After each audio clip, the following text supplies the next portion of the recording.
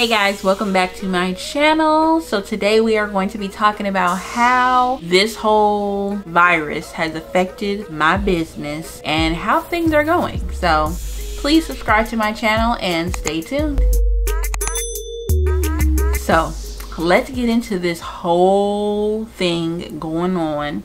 I know everybody's tired of even hearing about it, but the virus has affected so many businesses, including mine. And you know what? I'm feeling for every small business owner right now. Anybody, especially people who have to be in the salon. Oh my goodness, to make their money and not being able to. So today is March 30th, which is my birthday that I'm recording this video and Trump actually extended the whole closure of businesses and you know the whole keep your distance from everybody and all of that. He has extended it to April 30th so I will not be in the salon for another 30 days. And this has you know you know, put a damper on everybody's business right now. If you're not essential, then you're not making any money in the salon or, you know, in any other business that's kind of not essential. Clothing stores, malls, movie theaters, things like that, they're not making any money um, right now. So let's get into this. I am a salon order, owner of a salon suite and I cannot work in my salon suite. Nobody in all of the suites around me can work. We will potentially get fined, you know, arrested, whatever the case is, if we are caught working, which is horrible.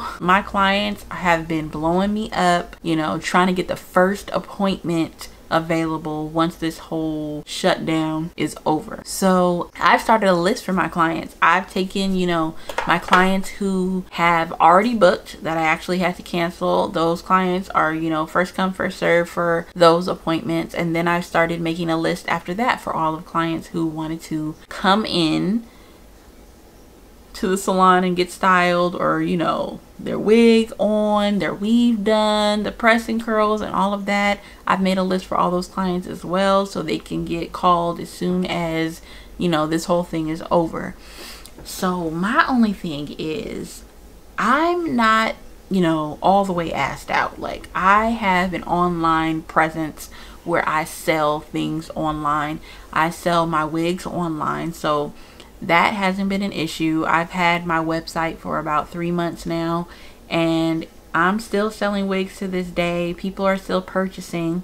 So I'm still making some sort of money from that business. But anything hands-on, I'm not making any money from. The good thing about it is the owner of the salon suites that I work in is not charging rent for our salons while we are not able to work, which is always good. I don't have to worry about that. I just hope that they're able to pay their lease so that we all don't get kicked out of the building.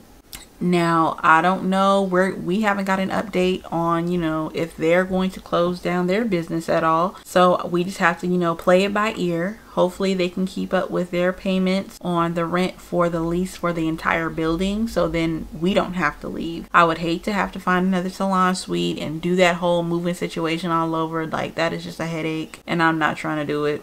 But wigs are always selling lashes on my website. They're always selling. I have other things that I'm about to add onto my website. I have other accessories that I'm about to add onto my website.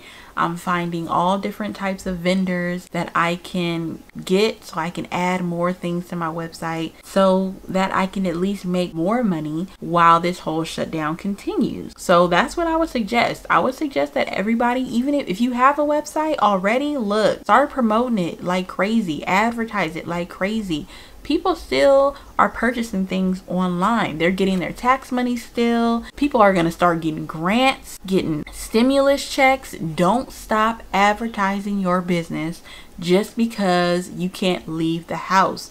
You can still post those old pictures of people's hair you did back in the day. Grab some bundles of hair and start selling them whatever way you need to. Like there are plenty of ways to make money at home let me just tell you, I have been busy making videos. I've been busy making wigs. I've been busy doing custom wigs, ordering bundles for clients, and things like that. It has never stopped. It has never stopped. I have been busy even though I'm not in the salon. Just like normal, I've worked from home before, so it's not a big deal for me. You guys need to just learn how to transition into doing a different type of work. And when this whole shutdown is over, everybody can take that business that they started, this online business, and then just incorporate it into, you know, your small business that you have now. This is only going to make your online presence much stronger for your business than ever. Focus on the things that you can do and stop focusing on things you can't do. That's what I've been doing. My husband has been here helping me. If y'all didn't know, he's the one that edits all my videos. So when you see me looking crazy or acting a fool, he did it.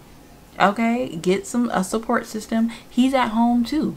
And he's finding other things to do as well. He does some of my advertising for me. He does my YouTube videos for me. He gives me great ideas on what I should and what I shouldn't do.